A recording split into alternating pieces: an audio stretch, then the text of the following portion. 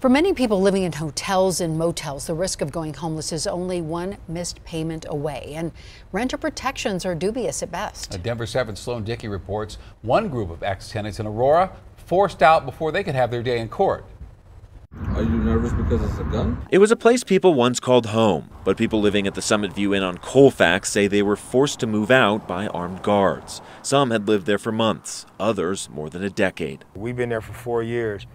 There's another elderly lady that says she's been there for 17 years. Now the extended stay motel sits empty. Motel managers posted these notices on residents' doors on September 14th saying the motel was being shut down on October 28th to undergo renovations. Residents were forced out a few weeks prior on October 3rd. You would think security is supposed to be there to secure the people that's living there, not intimidating them and threatening them with their weapons.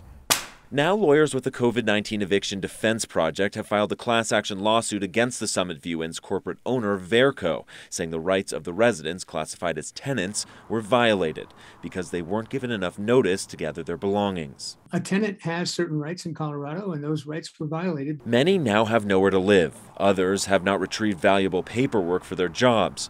Others lost family heirlooms. I have one client who lost a family Bible one client who lost the ashes of his grandparents.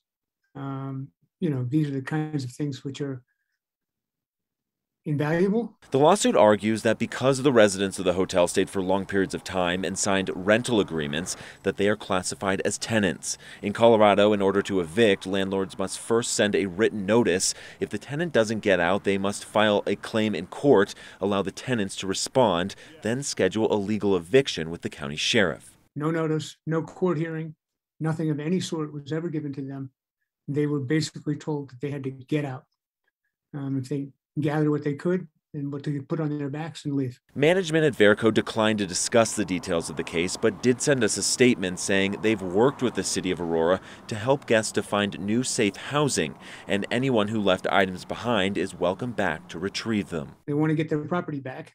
That's the initial uh, part of the lawsuit. As for the armed guards, managers previously told Denver 7 they were hired because of an increase in crime in the neighborhoods near the motel. Nobody should have to suffer the indignity that these people suffered or the fear that they suffered when they did. Sloan Dickey, Denver 7. The class action lawsuit was filed in Arapahoe County on Friday, and a hearing for the case has been scheduled for next week.